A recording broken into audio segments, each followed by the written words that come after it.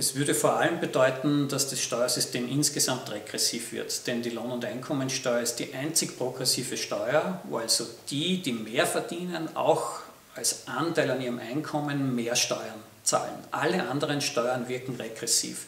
Belasten gemessen am Einkommen die unteren äh, Gruppen stärker als die oberen, vor allem die Verbrauchssteuern, weil der gleiche Betrag bei den Ver beim Verbrauch einen sehr viel höheren Anteil am Einkommen hat. Also wenn wir 1000 Euro pro Jahr Strom- und Gasrechnung haben und wir haben 20% Mehrwertsteuer drauf, also 200 Euro, dann bedeutet das an einem Haushaltseinkommen von 2000 Euro im Monat sehr viel höhere Belastung als beim Haushaltseinkommen von 10.000 Euro. Das heißt, jede Verbrauchssteuer belastet vor allem äh, die kleinen Leute.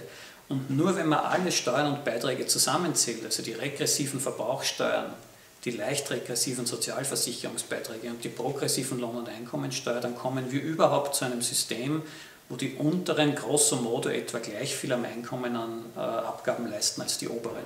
Würde man jetzt die Lohn- und Einkommensteuer auch proportional machen wie die Sozialversicherungsbeiträge, so wäre es sozusagen verteilungspolitischer Wahnsinn, denn dann würden die oberen weniger zahlen gemessen an ihrem Einkommen an Steuern als die unteren.